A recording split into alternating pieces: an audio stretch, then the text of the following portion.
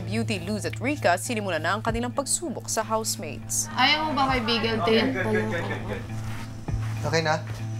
Ayaw ka tanitin. Bakit ba?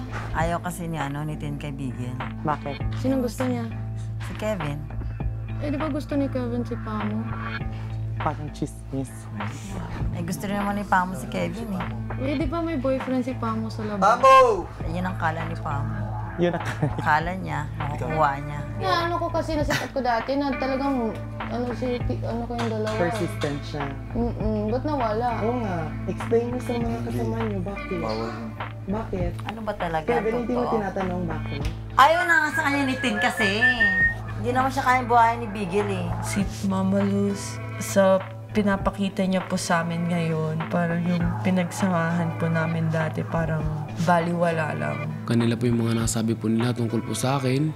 So, hinayaan ko na lang po kuya. Naging bastos man po ako kuya, pero ayoko na lang po kuya patulan kasi po ayoko na rin yung gulo. Yun po. Ah, ano yung mo love? Wala your namang pera. papa will agree with Bigel, you think? Basta kung saan ako masaya, dun masaya yan dad. Si dad. Oh, hindi raw siya, hindi siya masaya. Hindi siya masaya. Pako, pako. Siya kay Kevin, siya kay Kevin. What can you say, Kevin? No, ako, I think Pamo is just honest with her feelings. na-meet na niya yung boyfriend ni Pamo. Hindi. Palagay mo, natalo mo yung boyfriend ni Pamo. Siyempre naman, pipiliin siya ni Pamo eh. Uh, it's kind of frustrating. I mean, it's a complicated situation with me and Pamu. Alam ko, it's very, it's a touchy subject for her. Ang babae dapat dapat iniwalan ni lalaki sa labas, hindi sa loob. Diba? Kawawa. Wag na tayo kumakanta, defensive na tayo. Diba? Walang, walang kalaban-laban yung lalaki. Grabe. Eh, si Pamo kumakanta kasi na ano siya. Affected. Yun yung hindi nagpapakita Kala na kasi ni. Pamo, mahal na mahal siya ni Kevin. Ayaw yung confrontation. Guys, we have some really loud mosquitoes. Nag-iilos mo kasi na ng siya ni mosquito. Kevin. Ay, sakit sa tenga. Bakit siya lahat hindi defensive, te?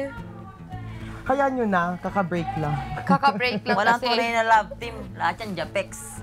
Tingin nila paglabas nila, may lason sila. Pamo, Namimik ka ha?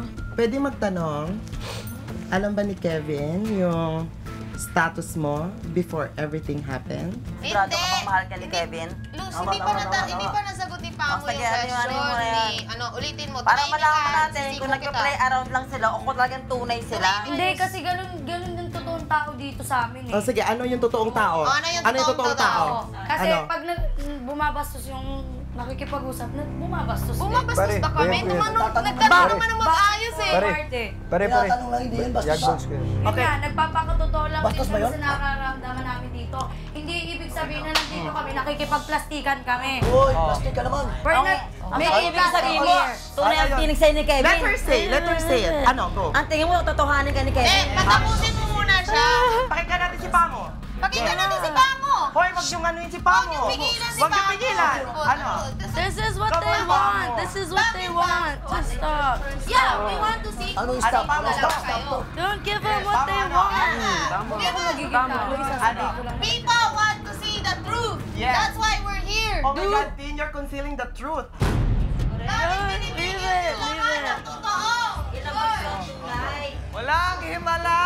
I'm not a pig! Tin, alam mo yung ginawa mo ngayon lang, pinakita mo sa lahat ng nanonood sa'yo kung paano mo tinakpan ng katotohanan. May taong seryoso, gusto magsalita. Gusto lang malaman. Tinigil mo.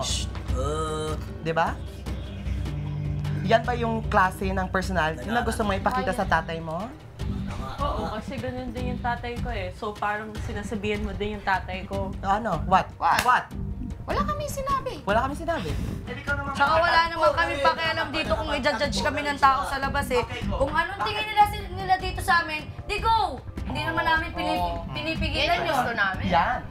Yan ang totoo. Yan ang totoo. So, Pamo. Hindi nyo ba iniisip kung bakit nandito kami? So, Pamo, nag-love team, love team ka na ba kay Kevin? O tingin mo, mahal ka talaga ni Kevin? No, Mama Luz, hindi ako nag-expect ng love sa iba. Ah, ganon. Nilalabas ko kung anong meron ako at kung ano nararamdaman ko. Bakit Mama Luz? Tingin mo ba sa akin? Hindi, Mama Luz, hindi. Sabihin mo sa akin kung nagpepeke ako. This is what they want. feeling mo, nag-love team, love team ka na kay Kevin. I'm not! Ano? Ano? Akala mo mag-work. Hindi. Bakit?